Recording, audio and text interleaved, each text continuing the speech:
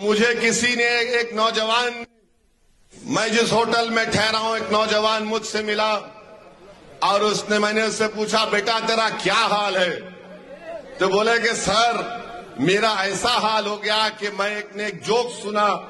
उसने कहा कि जोक है, ये कोई हकीकत नहीं है। उसने कहा कि उसकी ज़िंदगी की तकलीफ़ बयान की।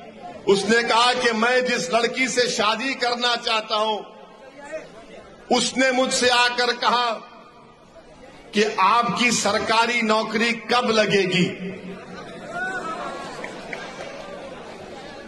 उसने आकर उससे कहा कि आपकी सरकारी नौकरी कब लगेगी? पप्पा, लड़का ढूंढ रहे हैं।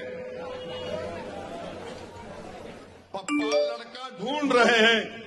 तो उस नौजवान बच्चे ने कहा मोदी सरकार पर भरोसा मत करो, तुम शादी कर लो। अब मोदी जी बोल रहे हैं कि मैं दो करोड़ नौकरियाँ देने का वादा किया था 2014 में। आठ साल हो गए। आठ साल के बाद मोदी जी कहते हैं कि 2024 तक 10 लाख दूँगा मैं।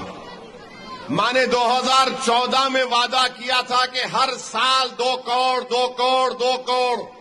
कितने हो गए? बारह। सोलह करोड़ नौकरियाँ मिलने चाहिए थी।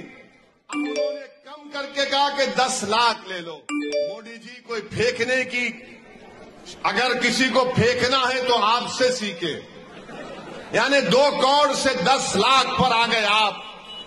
कहीं गुजरात के चुनाव में कहा था 2014 में प्रधानमंत्री बनने से पहले कि बाहर इसके बैंकों से पैसा आ जाएगा।